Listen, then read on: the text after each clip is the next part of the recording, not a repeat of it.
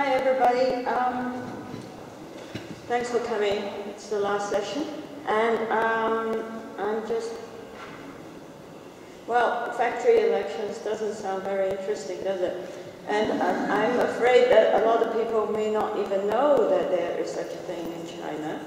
Or maybe some people don't even know that there is a trade union, but I guess being China Studies people here, you know that there is such a thing as a trade union. There is one in China.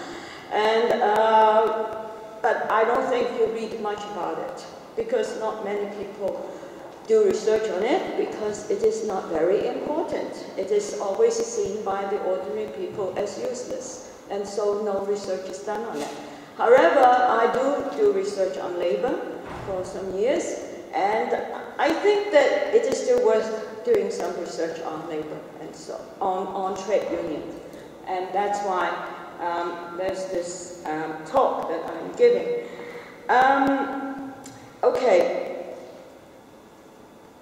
about trade union elections, you, you can think about the National People's Congress elections. You know, you might have read something about it and how these things happen.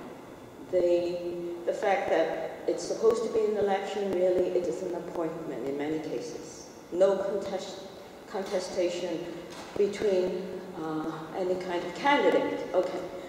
Um, but a lot of you might have heard of village elections. There has been a lot of literature written on village, village elections. Some of them have become genuine democratic elections. So, but as for factory elections, they're supposed to be, if you go walk into a state enterprises, uh, a state enterprises, uh, uh, state enterprise, they will tell you, yes, we do have elections, you know, but of course, it is not a real election. Okay. So, um, but I'm going to, what I'm going to say today, to tell you, to share with you, is that there is something happening about trade union elections in China. So I'll stop here at this point, and then I to just give you a broader picture, which is that there are two types, main types of enterprises in China. One is state-owned and one is non-state-owned. And my topic is really about trade union elections in the foreign-funded sector. It is not in the state-owned sector. State-owned elections, no, state-owned trade unions at the workplace exist automatically, sort of. Okay, if you are employed by a state factory, you go in, there's already an, a, a, trade union. You don't know when it comes about. Well, what happened is that when the state enterprise existed long, long ago, you know, the, it was set up as an arm of management. All right, that's state. So there's really no election. Okay. As for foreign-funded enterprises, especially the Asian-funded enterprises in Guangdong province and, uh, and, also in other parts of China, they, um, they, they are, a lot of them actually don't have elections. They, they don't have trade unions, so of course no elections, right? No trade unions. And if they do have a trade union, a lot of workers would not know about the fact that there is a trade union in their workplace. And how did these trade unions in these foreign-funded enterprises happen, quote, exist? It's because management and the upper level trade union, like the district level union, the city level union, come together with the management and they will choose a person or a few people to be to form a trade union committee and then sign all the workers in as members. Okay, so 1,000 people, they have 1,000 trade union members. Okay, and that's trade unions in foreign-funded enterprises, if they exist at all. Okay, so that's the situation of the normal, the normal way that trade unions are set up. Now, we talk about foreign-funded enterprises. What happened is that, as of, uh, I'm going to give you a, a kind of historical, um, historical aspect of how these elections come to take place in the foreign funded sector. And I'm using a historical perspective, which is about 13 years ago. It happened about 13 years ago, okay? So, what happened is that in, um, let me start using this.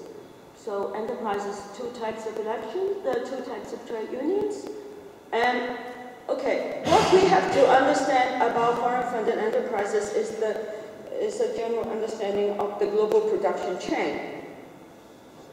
You've got the multinationals, you got you have the suppliers, and then you have the workers. Suppliers meaning the factories. For example, you have Apple, then you have Foxconn, which is the supplier, and then you have Foxconn employing a lot of workers, 1.2 million, uh, million workers in China. Okay, so the supply. And now there's a power relationship between between these actors, and as you can see, the?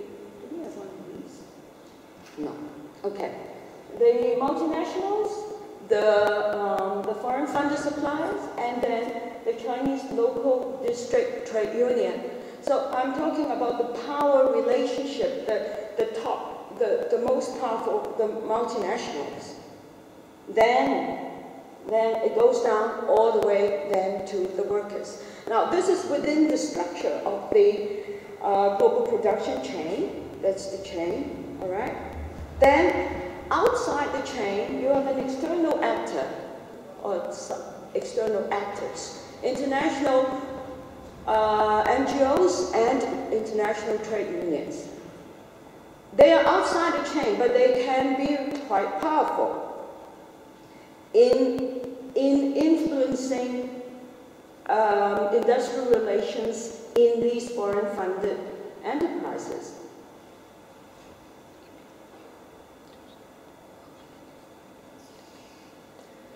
Now, then let's go back a little bit to the 1980s and 1990s. You've heard of the anti-sweatshop movement? Well, the anti international anti-sweatshop movement started, I would say, about the 1980s. The main one was the anti-apartheid uh, movement in the West against uh, apartheid in South Africa in the 1980s. Then in the 1990s, it pro well, then, you know, apartheid disappeared. You need something, some, some target. The next target was the uh, sneakers industry, the footwear industry, and Nike was the main target. Nike as the, um, the multinational was the main target in the 1990s, all right? And then it died down a little bit in the 19, in the, the decade of the 2000, but gradually it came up again. And the main target today is Foxconn and Apple people have sort of forgotten about Nike. You must have heard of the Nike, the anti-Nike campaign. All right. So now, the story started about uh, 13 years ago in 2001. The anti-sweatshop movement, the external actor, whom I said, well, I just said is quite powerful, was able to make the multinationals do something about the exploitation of workers in the supply factories. So what they have found, that they've got a strategy, and which is called the Corporate Social Responsibility Initiative. So they say, okay, I, I I will um, we, we are going to draw up a whole lot of codes and uh, code of conduct so now, if you look up the website, every multinational will have a code of conduct. The code of conduct is not really for themselves to, to follow, but for the suppliers to follow. Okay? Imposed on the suppliers. You have to do this, you have to do that, you cannot exploit workers. But when it comes to freedom of association, they are a little bit quiet about China because they know that China is not supposed to have freedom of association and they do not want to really um, fight with China over that. And of course, multinationals don't want trade unions, freedom of association, in the host countries that are manufacturing their goods, which is understandable, right? So, however, the anti-sweatshop movement is very, was very active in the 1990s, starting from the, the beginning of the decade and went on for some years.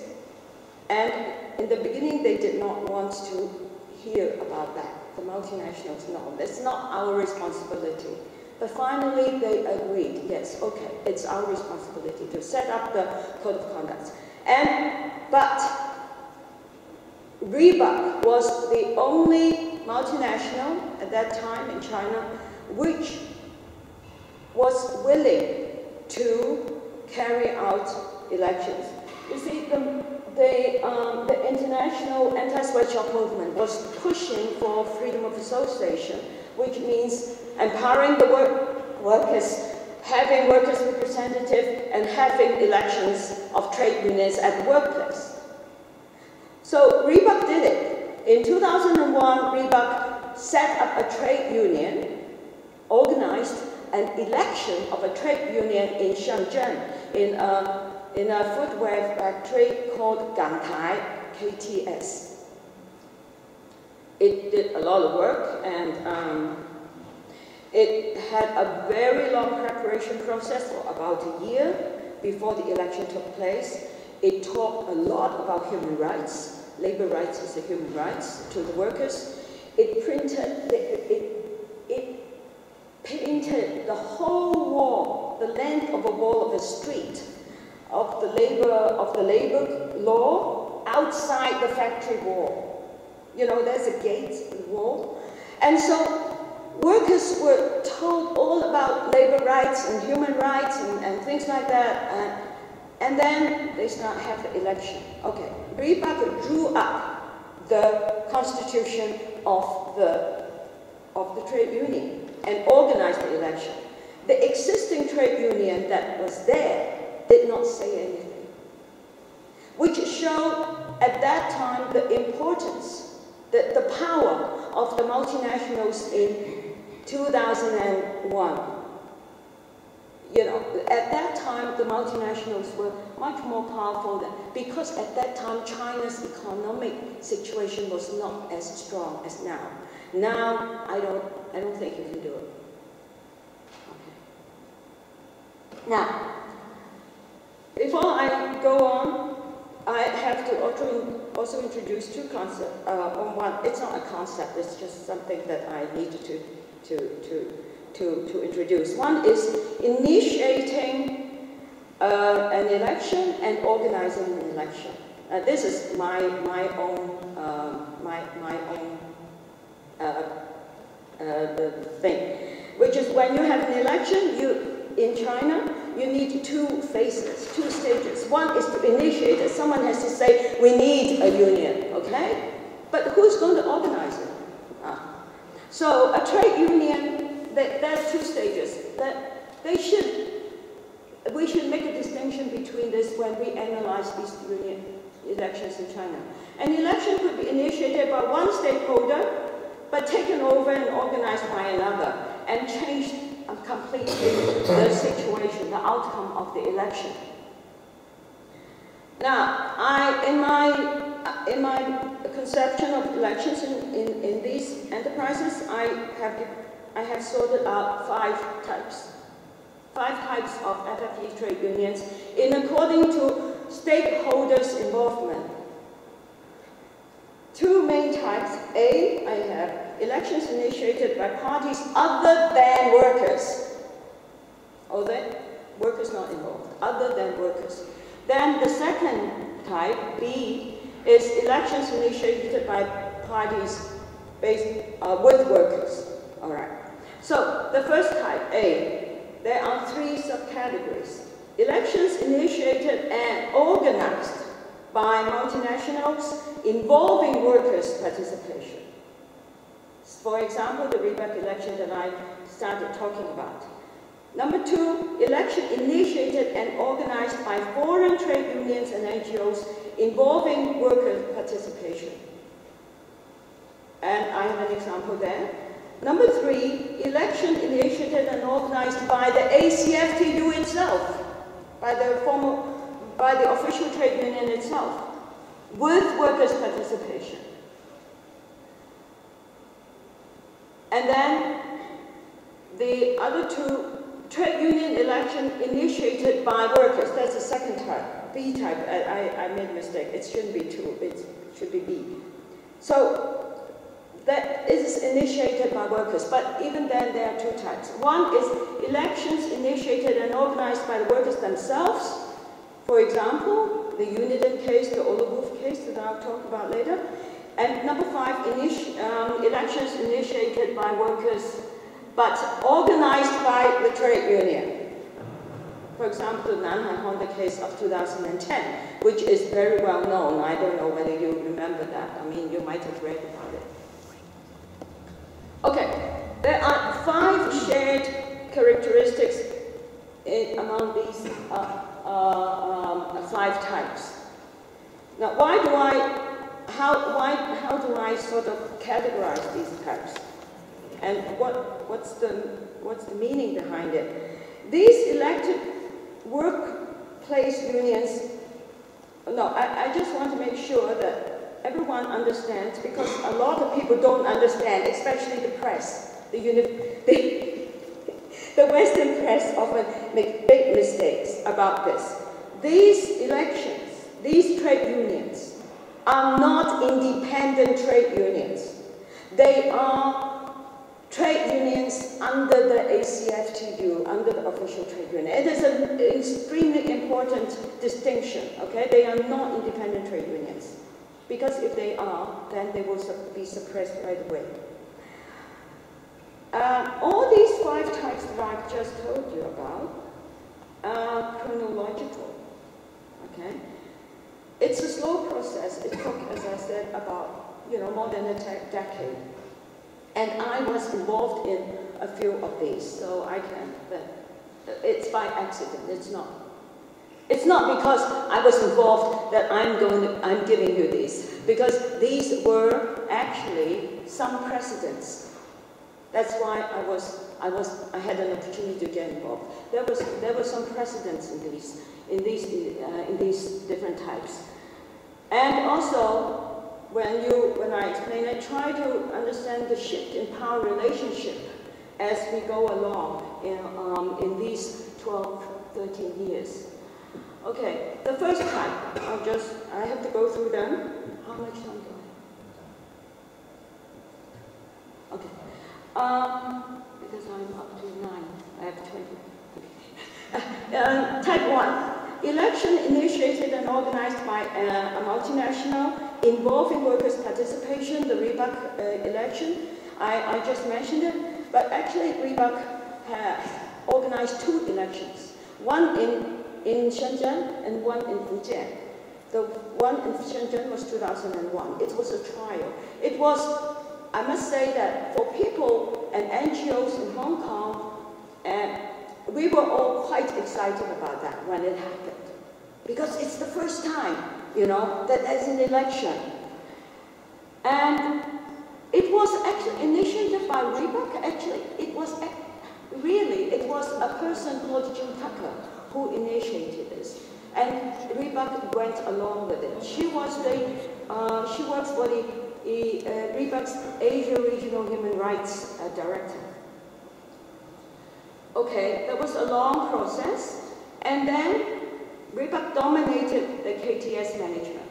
Okay, suppliers, as I said, the power relationship between all these stakeholders the MNs, the, the multinational has a lot of power over its suppliers.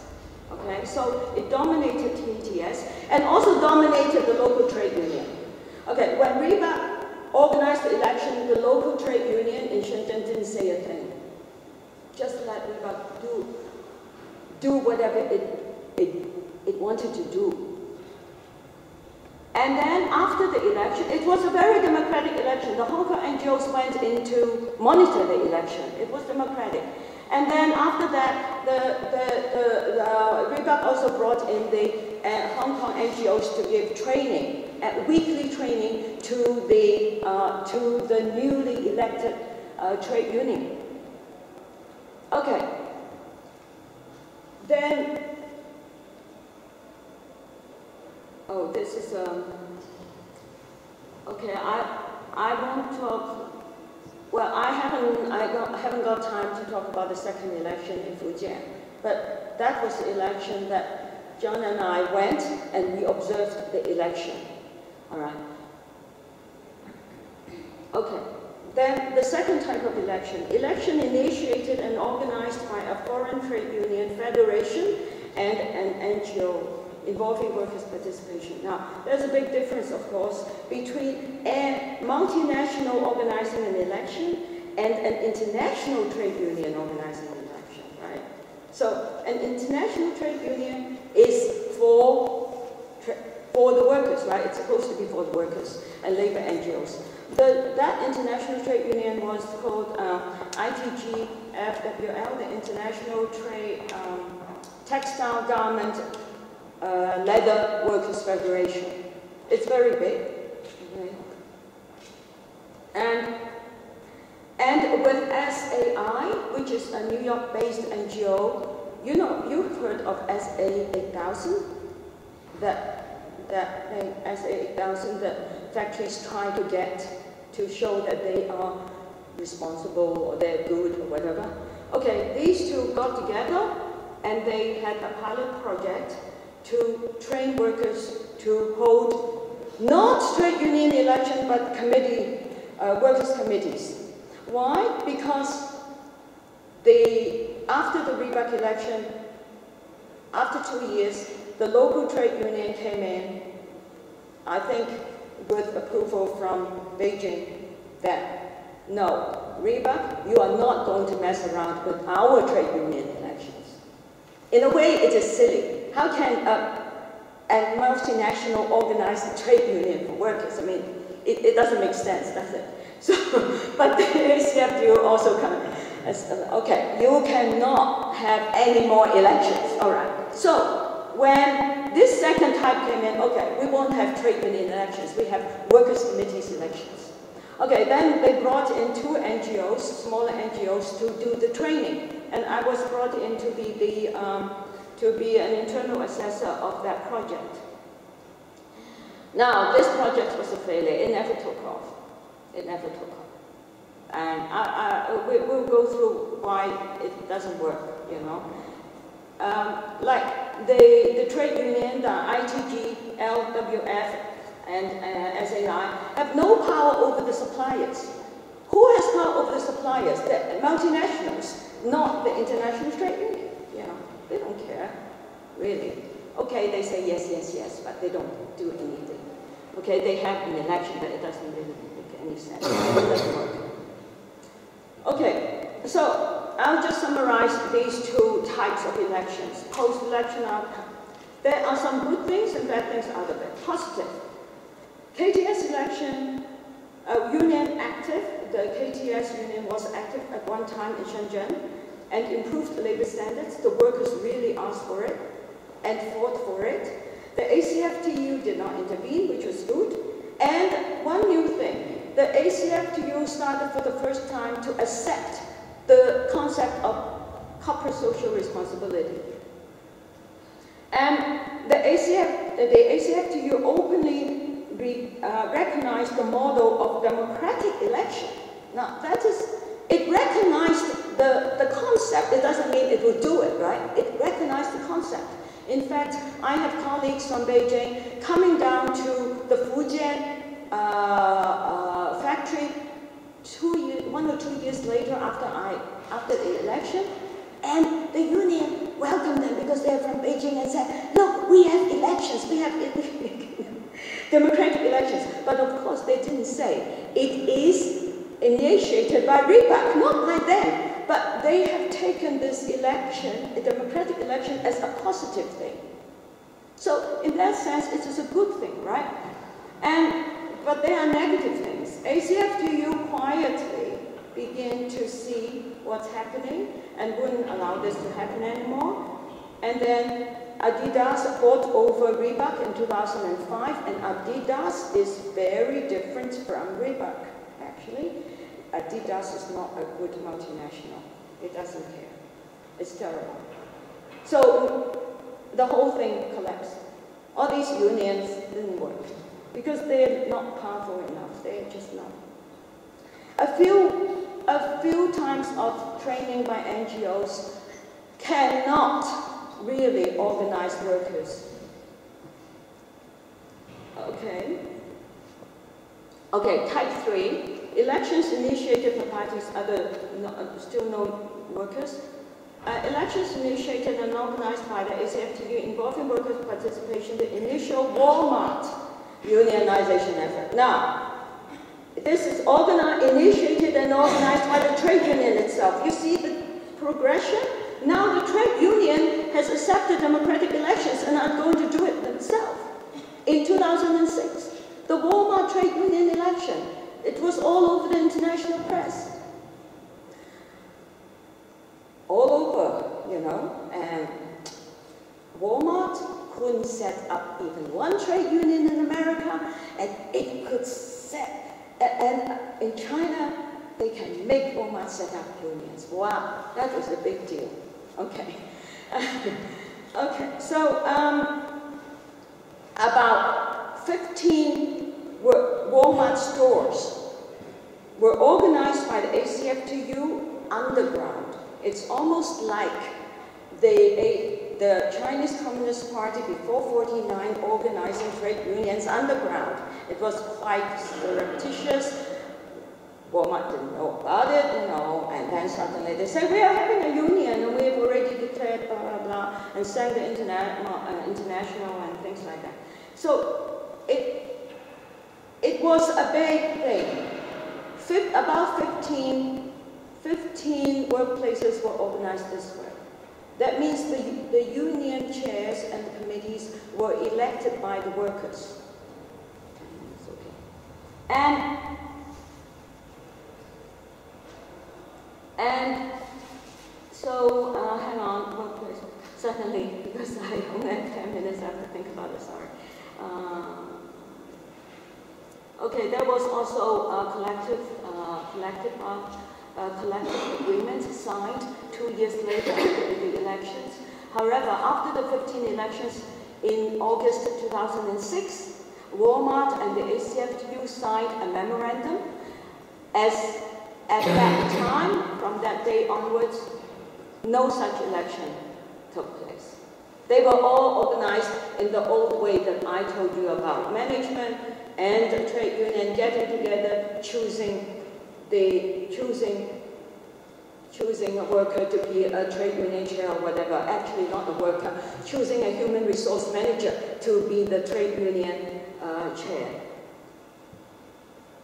And um, and then for uh, of those 15 and uh, 15 uh, Walmart um, uh, workplaces that had new elections, some of them did function for one or two years and fought against Walmart. But well, in the beginning, the ACFTU in Beijing supported them, but after a while, ACFTU didn't support them. They didn't say anything. And so after that, you know, in a couple of years, everything also went to north really. Okay. So this is the conclusion of this type of election. Training sessions not very good enough, just a few training sessions. And um, uh, and uh, because once these uh, the NGOs are not there, and then the whole thing collapsed. But one thing positive is that we do have the Walmart elections, and then uh, and then in 2008, the ACFTU announced a 100-day focused action campaign to hold elections in Fortune 5,000 co com uh, corporations. So the principle is recognized. Okay, the second type of election, and that is elections initiated by workers without external assistance. Uh, initiated by workers, so it's different. Um, elections initiated and organized by workers. So, initiation and organizing, I, I, I said by workers themselves. These, uh, I have two examples. One is Uniden and one is Ole Wolff. I, I won't say much about the Uniden. It's, it, it, was, it actually happened before 2006, but it, it was really intense fighting from the workers for five years. They had five strikes. This is unusual in China. Um, to set up an election, but finally they failed because it was suppressed. But still, they, they persisted for quite a long time. The second one was Ole Wolff in Shandong in Yantai. It is a very small place, but it was the first trade union set up by workers after a strike. Okay? I would say it is the first one. It's the workers wanted a trade union and went on strike and got the trade union. But they fought among, they, they had to fight the local union and the, and the management for three or four years and finally they, it was really hard and um, and I got to know the, the person involved in it, and we went to Denmark and all that stuff to try to find Ole Wolff in the middle of Denmark. We drove all the way with the help of the trade union, and, um, and still it didn't work. I mean, there was international solidarity in, in this case, uh, which is quite unusual. I don't have time to continue characteristics. Now, characteristics and outcome. In both cases, workers willing to engage in, now, in, in these two cases, workers initiated it, in both cases, workers willing to engage in repeated long, hard struggles to set up their own unions. Unlike unions set up from the top, you see, the A-type uh, union and the B-type unions, they're quite different. Ole Wolff Union was the first union to set up in China through a strike. The first self-initiated and organized union to be recognized by the ACFTU. Actually, the Ole Wolff Union was recognized by the ACFTU in Beijing. In fact, they, they came down to Yantai to recognize the union. Okay, that was uh, quite unusual. Um, and uh, it was a long, hard struggle anyway. Okay.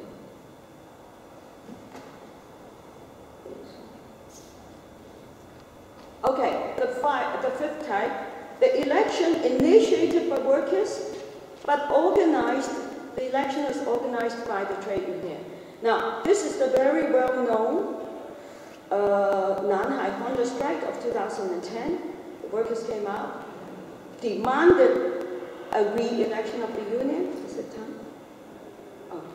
demanded the, um, a re-election of the trade union, and it was all it was going well. They had they it was not violent. It took 19 days, which is long for a strike in China.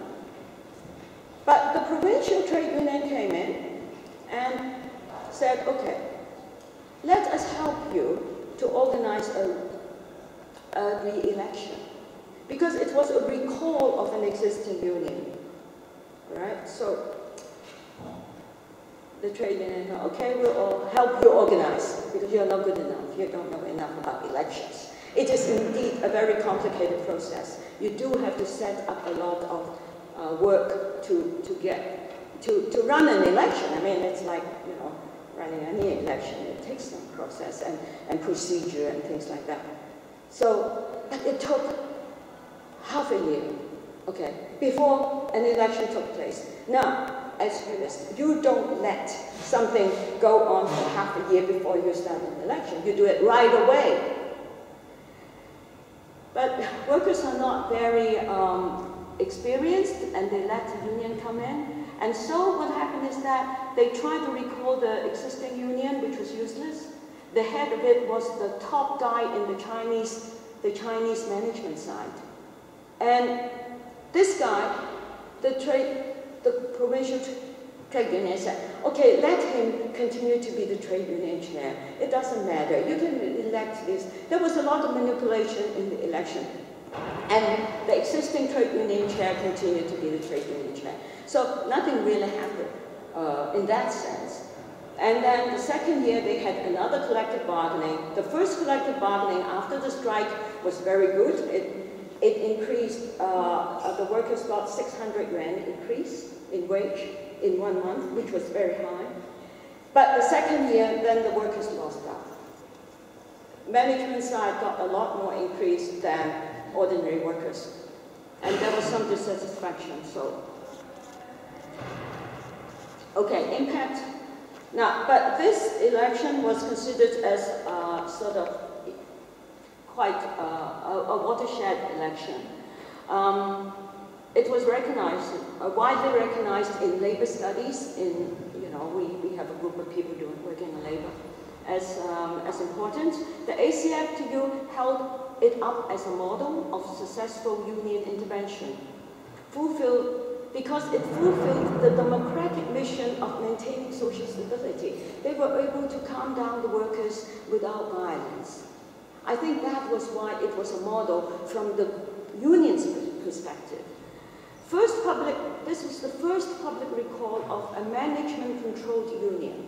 And as I said, when the election really took place, it didn't happen.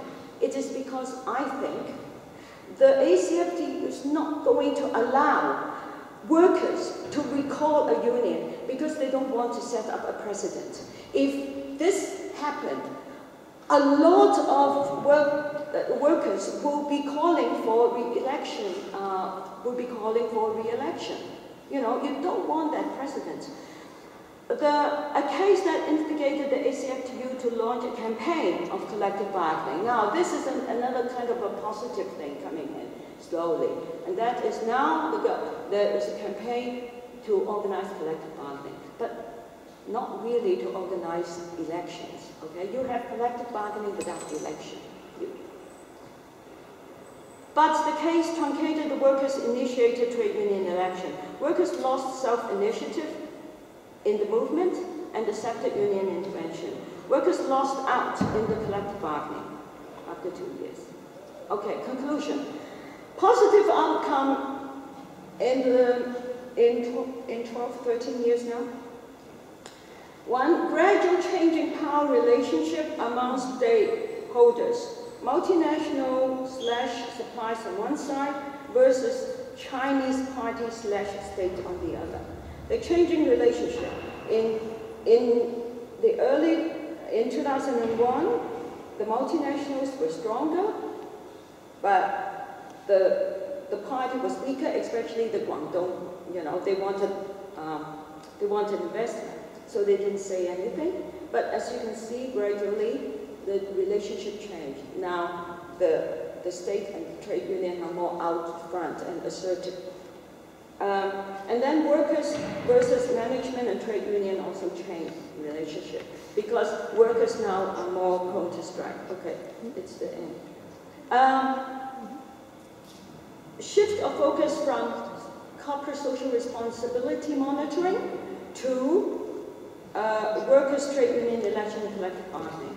So now the concept uh, corporate social responsibility is really dying down in a way because it's been so discredited internationally. Um, progress in workers' awareness of collective representation. So after 12 years, workers learn a little bit more about this type of thing. You know, not all, but some.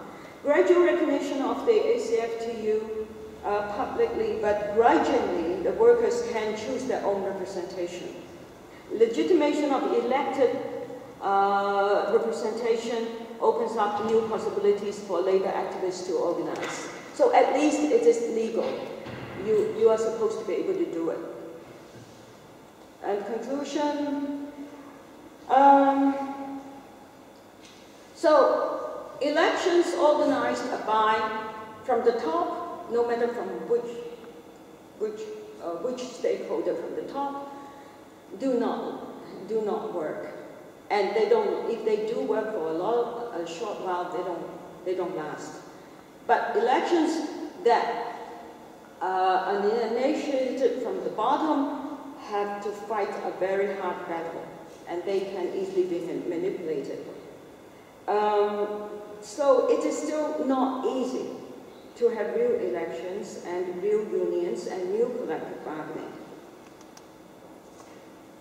So, but ACFTU's, you know, on the, the ACFTU's behavior has been very inconsistent. Sometimes it supports the workers, sometimes it doesn't. But when it really comes down to it, it does not. Foxconn selection, I, I didn't mention Foxconn, but Foxconn is supposed to have uh, announced that it's going to have an election in 2013, but that nothing has happened so far.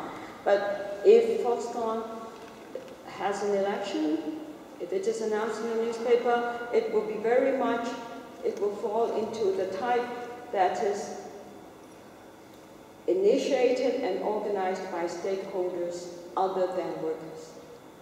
Okay, thank you.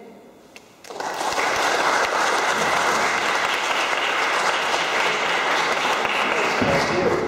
It's late start. We really only have time for, for a couple of questions.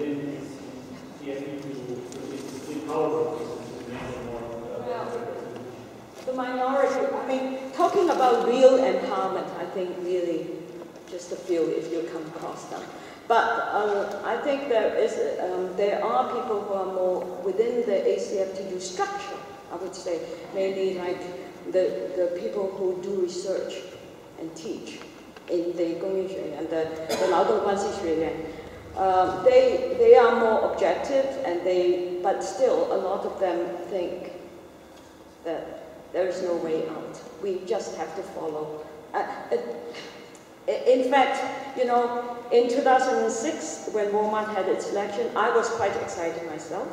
My hope was misplaced. Okay, and I wrote an article, and I sent it to these guys in Beijing, you know, my friends in the London and they said, look, Chen Peihua, you, uh, you don't, no, you, you, you, you are wrong. It won't happen It won't last.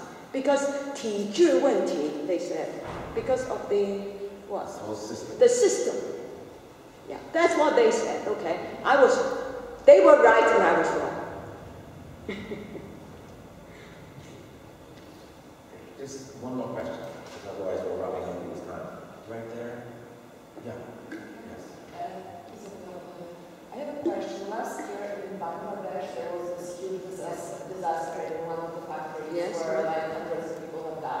Yeah. And suddenly there was like information about all over like at least Western news. Yes, I know. Would you say that this had like any influence on the situation of Chinese workers and trade unions and like the this attitude of these multinational companies who have suppliers No. I mean, why should the Chinese trade union think anything about what's happening in Bangladesh. You know? No, uh, no, no influence at all. Uh, but if you're talking about corporate social responsibility, why is it that after so after 20 years, 20 some years of corporate social responsibility stuff going on, and it's still going on, because the, the multinationals are not going to let go of it, because that is their their dialogue, you know, the way that they can impose um, impose their uh, ideology. The, even the European companies that have signed on to compensate the workers in Bangladesh have not really paid up after a year. It's exactly now, it's uh, at the anniversary, okay? So, no, it has, in fact, oh, the, the, the implication of Bangladesh becoming an important garment export country is that it's now got 4 million people, 4 million workers. It is now the second most important garment export country in the world after China. So if there is an impact at all, maybe if the Chinese workers know about it, hey, look, they are taking away our jobs. I'm afraid. Yeah. Okay, thank you.